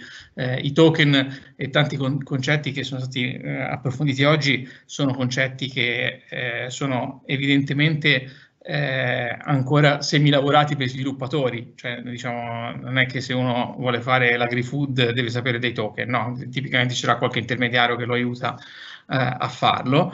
Eh, ed è, ne vedremo ancora tante, cioè, le, diciamo, in particolare nelle tecniche criptografiche sono stati studiati per tanti anni meccanismi con cui eh, si possono cercare di risolvere. Per esempio, mh, mm, uh, uh, Rivest, che è la R di RSA, quindi insomma una persona sicuramente autorevole eh, nel mondo criptografico, eh, nel 2000 ci raccontava che stavano lavorando a dei sistemi con cui si mettevano delle informazioni dentro un pezzo di dati criptografici e poi faceva tipo domande e risposte e quindi uno poteva decidere quanta informazione rivelare, eh, rivelare a per esempio un agente di polizia sono tutte tecniche che sono studiate, alcune hanno avuto su, uh, successo, altre mh, non hanno prodotto i risultati attesi, però per esempio si, si possono incastonare o, o, utilizzare nella zona degli smart contract. Quindi in qualche modo eh, credo che la, la, blockchain sia una splendida cornice eh, che però va declinata e poi adattata agli usi e eh, diciamo non è che siccome uno c'è in mano un martello tutto il resto un chiodo, come diceva il saggio, e, e questo si applica anche per, per la blockchain. Grazie, grazie Antonio. Sì, eh, condivido quello che ha detto Antonio, poi fondamentalmente il, ci sono funzioni anche che usiamo tutti i giorni che sono dal punto di vista ad alto livello quantum resistant, perché le funzioni hash, essendo funzioni polinomiali di un certo tipo, non sono sottoposte fortemente a svantaggio quando sono diciamo, eh, attaccate da computer quantistici. Quindi a volte usiamo un hash un po' più forte e abbiamo risolto. Cioè, ribadisco, ci sono tante soluzioni odierne che si possono utilizzare e poi come al solito la difesa è sempre proporzionale al valore dell'attacco e quindi eh, teniamo sempre in considerazione cosa stiamo difendendo. Il, um, ups, scusate, quindi ricordiamoci che, come diceva anche Antonio, fondamentalmente è probabile che se sperimentiamo una cosa e vediamo come va, possiamo riuscire a trovare una soluzione giusta. La tecnologia blockchain è una tecnologia, può essere usata bene o male, se la usiamo bene è un grande vantaggio sicuramente, se la usiamo male come tutte le tecnologie, ha poco, ha poco senso. Ecco perché ho aggiunto una slide a sorpresa che non c'era uh, ieri sera, è nata qualche tempo fa uh, IBSI, che è l'infrastruttura italiana che vuole essere in linea con quella europea, e quindi avendo qua una grande audience sulla pubblica amministrazione, ricordo a tutti che è aperta a tutti. Volete sperimentare, volete vedere come funziona, volete lavorare insieme, l'obiettivo è quello di lavorare insieme, perché quando si lavora insieme si mettono a fattor comune alcune eh, conoscenze che qualcuno ha e altri hanno meno e alla fine si raggiunge più velocemente un, un obiettivo comune. Naturalmente il eh, è gratuita, aperta a tutte le amministrazioni, come al solito è molto eh, compliant con, con, gli obiettivi che ci siamo sempre dati, ma eh, è una sperimentazione. Ecco perché noi dobbiamo, dobbiamo dare quel salto in più che diceva anche il professor Giordano e che ci permette di fare di andare a vedere con i nostri occhi quello che succede domani e non aspettare sempre che qualcuno ce lo dica. E quindi invito tutti quanti a sperimentare a vedere cosa, cosa ci porta al futuro. Domande? E siamo arrivati alle domande.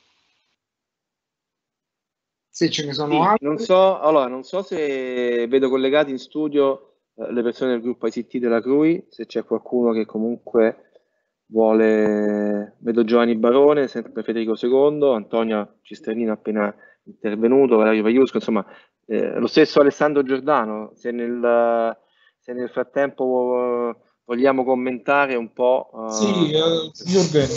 Sì, prego Giovanni Barone.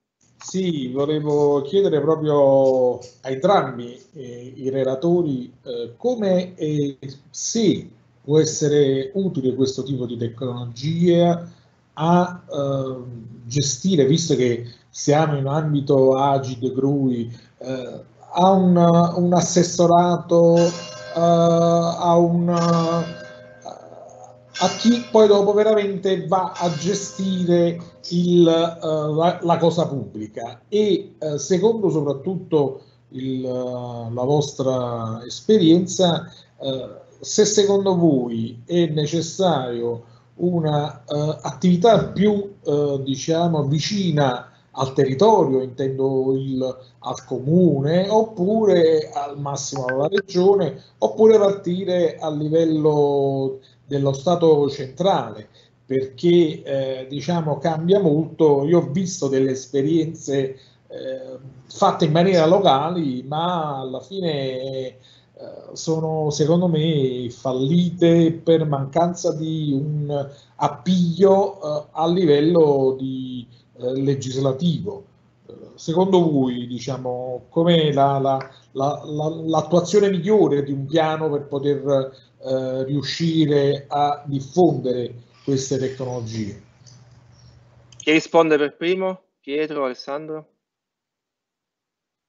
Ma eh, do il mio parere, poi lascio la parola anche a Alessandro. Fondamentalmente, mi piace dire oggi fondamentalmente, mi sono reso conto, l'ho detto spesso. È interessante la domanda che hai fatto perché ci stiamo dicendo, ma in un sistema decentralizzato dobbiamo avere il governo centrale che, ci dice cosa fare. No, sperimentiamo e secondo me dobbiamo mettere al centro sempre il cittadino e quali sono i problemi del cittadino? È quello di base per cui i dati che lui possiede, che sono suoi di proprietà,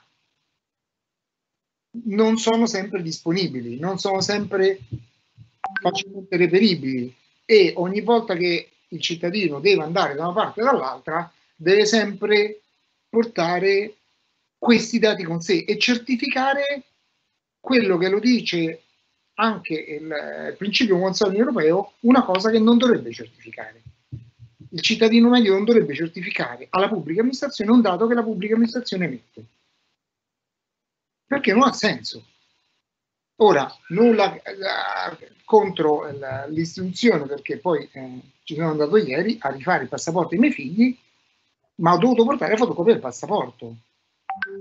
Ma io perché devo dare fotocopia del passaporto ha la polizia che mette il mio passaporto?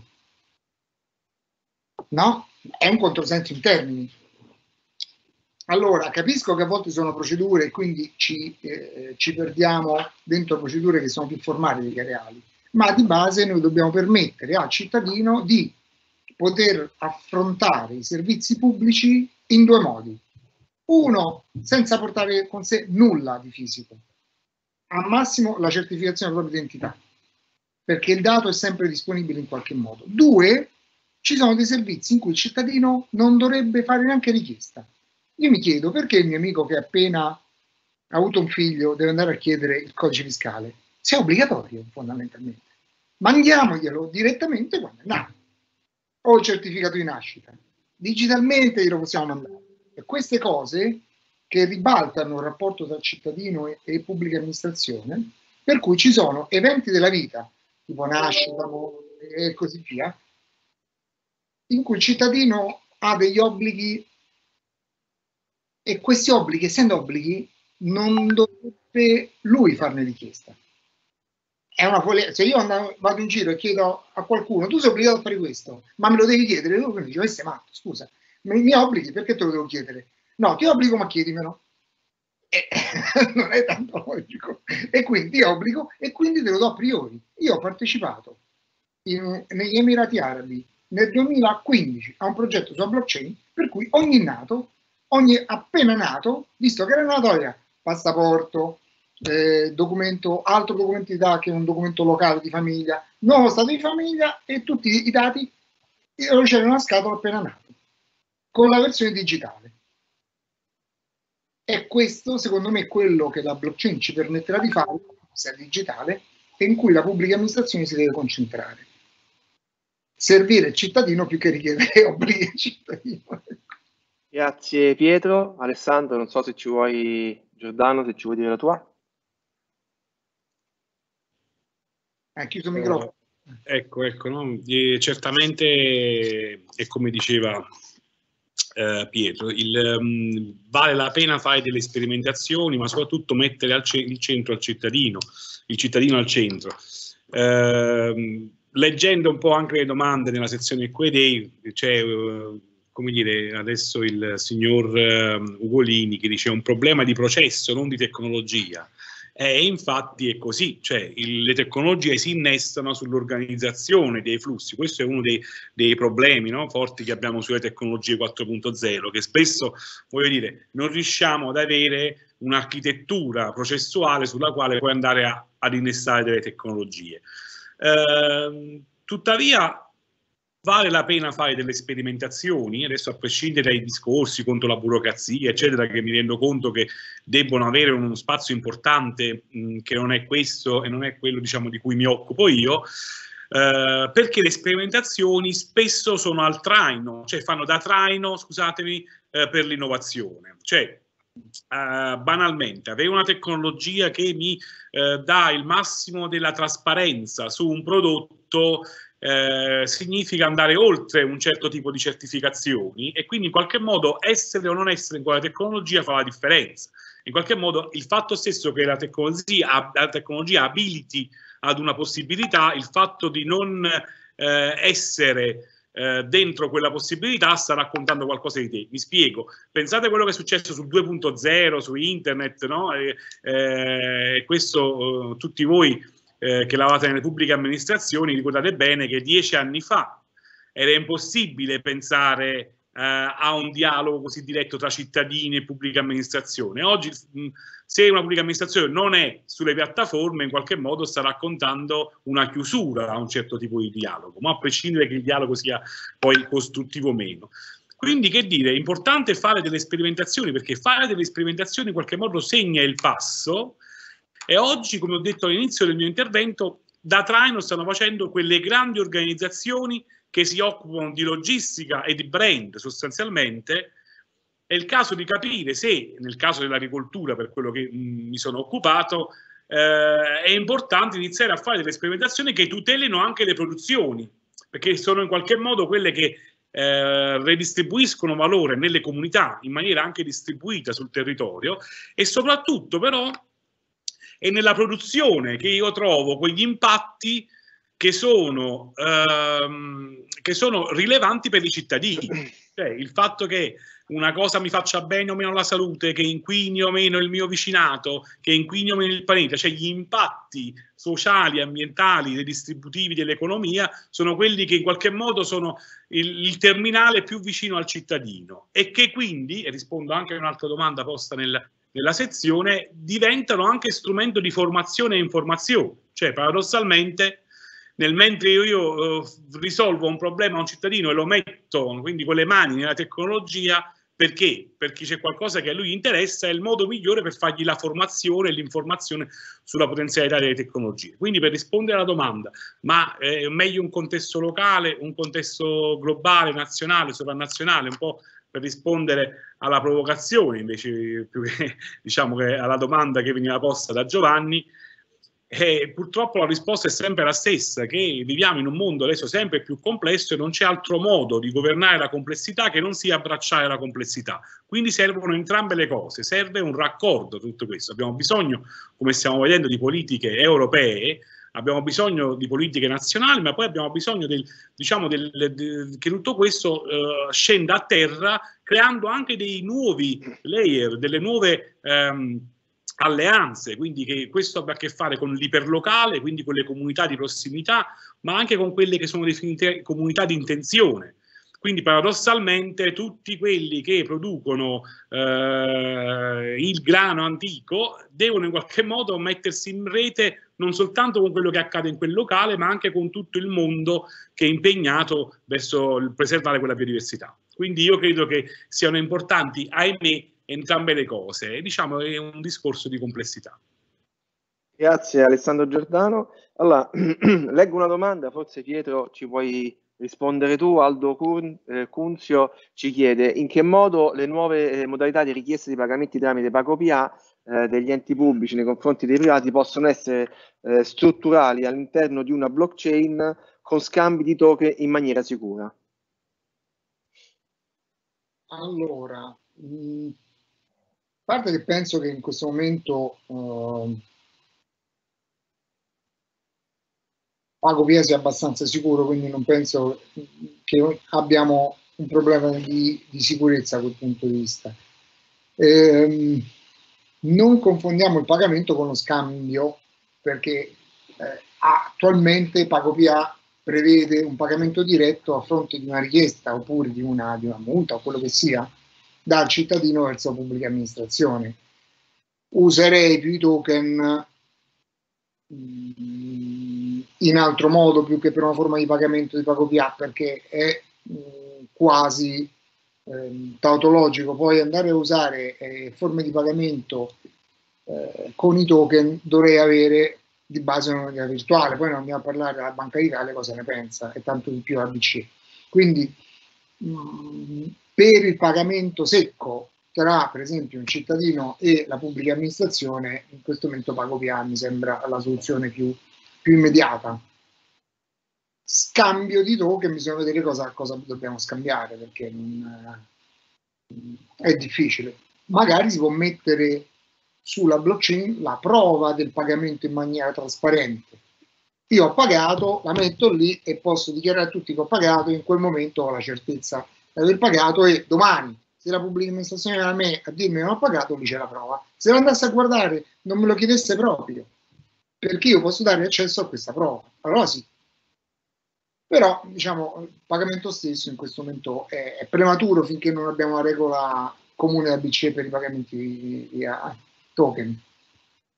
Senti, invece una, una domanda così, c'è qualcuno che voleva parlare? Valerio?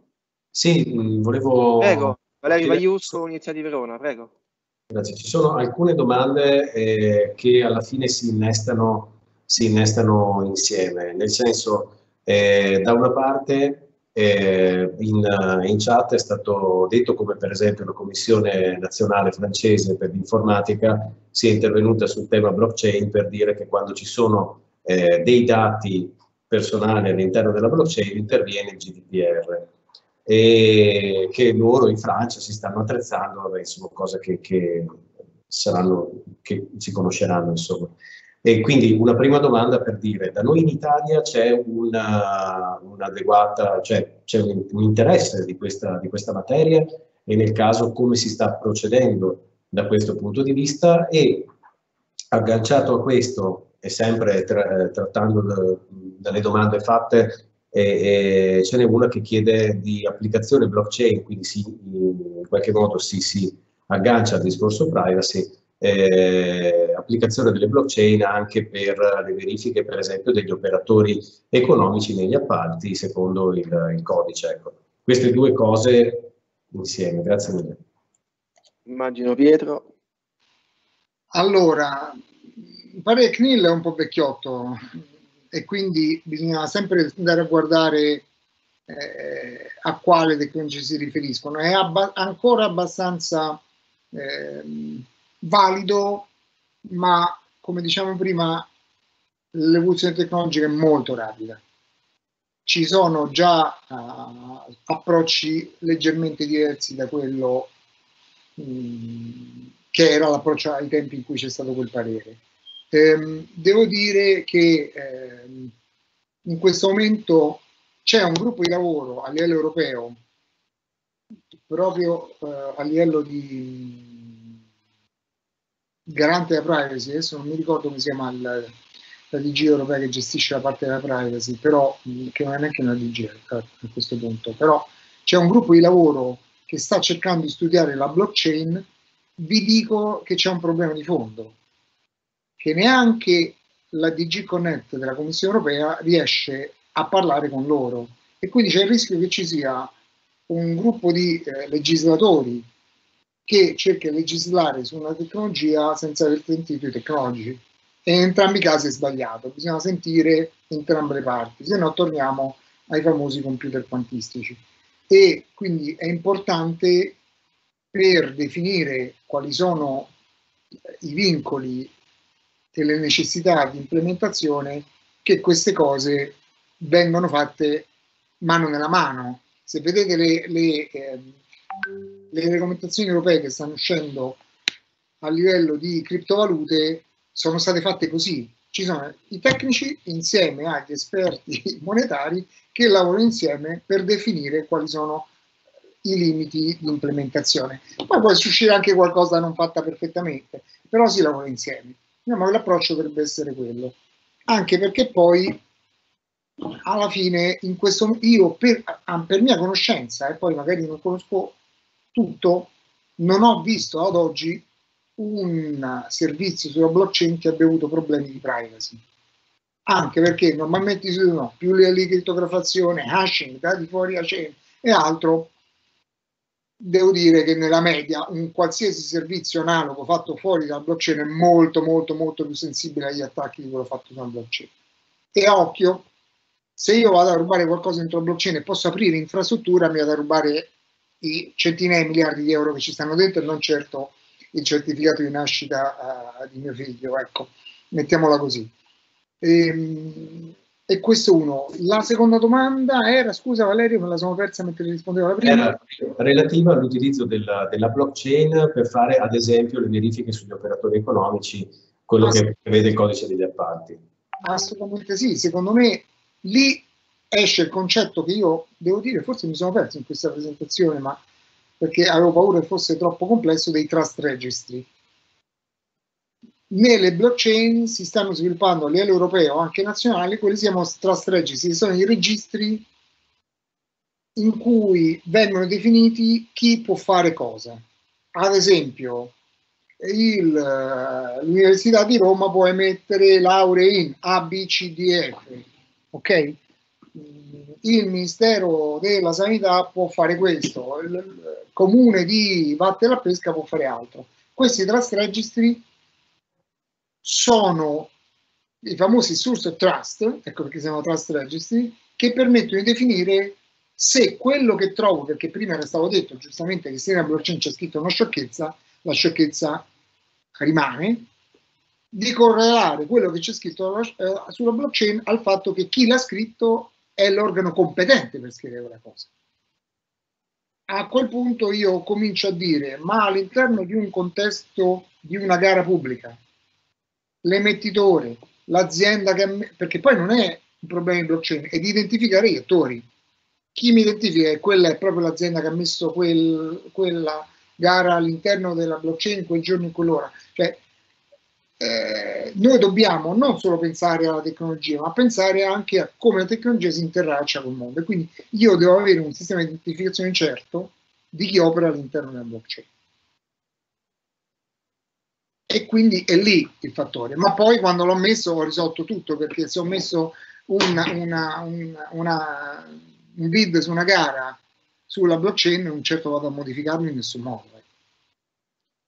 Senti Pietro, eh, Simone Malizia, eh, ambito universitario, ci chiede per quanto riguarda l'università, in particolare il passaggio di Ateneo degli studenti, è possibile pensare ad una blockchain tale per cui eh, agli studenti non vengano richiesti certificazioni di percorsi accademici conclusi? Ma di base eh, ricade nel concetto che facevo prima, in cui tendenzialmente il cittadino non dovrebbe fornire nessun dato a nessuno, tantomeno a quello che gliel'hai messo. E quindi sono le università che dovrebbero parlare tra loro. Però io qua voglio fare una distinzione. La blockchain dice, come dal punto di vista concettuale, che il dato è dello studente. È suo, lui ha superato quel, quel percorso accademico, lui ha avuto un risultato, può essere usata la blockchain da lui per condividere il dato con, la, con il secondo Ateneo. E questa è, un, è una soluzione che è stata verificata per l'implementazione del principio One Sound europeo, che ha, ha fallito il prima implementazione. Qual è il principio One Sound europeo? Che se io ho un certificato in Italia, posso andare in Germania col certificato e darglielo e è obbligo della pubblica amministrazione tedesca andare a verificare con la pubblica amministrazione italiana quel certificato è valido. Non riusciamo a far parlare le pubbliche amministrazioni italiane, pensa a tutte quelle europee. Il livello di complessità era tale per cui non ci siamo riusciti neanche prendendo il rischio più semplice del mondo. Qual è l'ultimo approccio? Metto il cittadino al centro. L'ente pubblico italiano dà al cittadino un certificato verificabile con le verifiable credential che abbiamo discusso anche l'altra volta, se mi ricordo bene, se no la prossima, e quel cittadino le condivide con l'ente della, del, del, della, dell'altra nazione. E quindi è il cittadino al centro. I due enti pubblici non si devono parlare da soli, devono solo essere certi che chi ha emesso quel certificato è lo stesso. E torniamo al discorso del trust register prima. Mettendo il cittadino al centro, diciamo, quella cosa che ha chiesto Simone è fattibilissima. Ti ringrazio per la tua risposta. Beh, ce ne sono altre domande, ma insomma mi sembra tutte più o meno dello stesso tenore, perché Marco ci chiede, quindi una tecnologia del genere potrebbe essere utilizzata per certificare il Green Pass ed essere utilizzata dalle PA per scambiare servizi al cittadino? Insomma, una domanda mi sembra sempre che... Ma per esempio, sent... eh. faccio un esempio proprio tanto per essere distruttivo in questo momento, tanto per rompere le scatole a tutti perché è tardi, ma se io devo fare un certificato Covid, ma la blockchain è il posto migliore dove metterlo perché è mio, lo gestisco io, lo condivido in maniera sicura, lo condivido con chi voglio e non sta dentro un ente emettitore in giro per l'Europa. Poi, giustamente, secondo me la tecnologia blockchain in questo momento è abbastanza giovane da portare dei timori per sviluppare una cosa del genere a livello europeo e quindi dare la certezza a tutti che non ci siano attacchi non alla tecnologia ma al modo in cui viene risolta. Però, dal punto di vista logico, è quello. Il fatto che il certificato è tuo, te lo gestisci e lo condividi con chi vuoi. Perché poi se il Green Pass, un certificato Covid, non cambia molto. La scalabilità e l'interoperabilità, le blockchain sono molto scalabili ormai il concetto di scalabilità è un problema molto molto orientato a certi tipi di blockchain. E l'interoperabilità, e chiudo qua il discorso, si fa non dentro la blockchain. La blockchain è interoperabile per definizione perché tutti possono vedere quel dato. È come è scritto quel dato e quindi l'interoperabilità è alla sorgente. Scrivo quel dato in un formato che sia uguale per tutti e quindi tutti lo possono leggere. Va bene. Allora, io mi avvierei alle conclusioni, anche perché siamo in orario, direi. Eh, abbiamo dato lettura anche a un po' di domande, vedo le persone ancora tutte lì collegate nonostante i token e i vari argomenti di cui abbiamo parlato oggi. Allora, vi ringrazio tutti, intanto ringrazio ehm, Pietro Marchionni come sempre ehm, diciamo, per la sua chiarezza eh, espositiva, per la sua pazienza anche soprattutto poi per rispondere a tutte le domande. Ringrazio Alessandro Giordano e Federico II di Napoli, tutto il gruppo ICT che vedo schierato nel nostro studio. Eh, oggi vedo eh, Giovanni Barone, Valerio Paiusco e Antonio Cisternino. ringrazio tutti, chiaramente grazie ad Agid con cui abbiamo queste iniziative congiunte e vi, do, eh, vi ricordo che la registrazione sarà poi resa disponibile sul nostro sito, proveremo a rispondere anche alle vostre domande. Vi abbiamo sottoposto la survey, vi prego compilata così sappiamo insomma se stiamo andando bene e soprattutto potete chiedere l'attestato. Um, rimarrà aperta la survey ancora per un po' per la giornata in modo tale che avete il tempo di compilarla. Non chiedeteci proroghe, deroghe eh, non ho compilato, ma c'è, insomma, fatelo adesso se è possibile, altrimenti mai più e vi do appuntamento poi a martedì prossimo, se non sbaglio, con, con l'ultimo incontro. Sì, Antonio Cisternino, che è il... Un appello. Un attimo soltanto, no, devo parlare prima che... che... Allora, Antonio che si è preso l'incarico eh, nel sottoscala qui della CRUI stampa la notte gli attestati perché voi dovete sapere che siete eh, adesso a partecipare eh, ad ogni ciclo siete ehm, diciamo almeno 3.000 persone no, univoche. Quindi questo è il tenore degli attestati che produciamo ad ogni ciclo per quello non li facciamo soltanto a fine ciclo e soltanto con un po' di tempo in più che ci prendiamo. Eh, e abbiamo no, una cosa, prima di darti la parola, abbiamo messo sul nostro sito un apposito form vi prego, qualunque cosa che riguardi gli attestati, compilate quello, non scrivete ai nostri indirizzi email perché altrimenti poi eh, capite che è, è, un, è, un, uh, è, un, lavoro incredibile soltanto ricevere le vostre mail. Prego Antonio.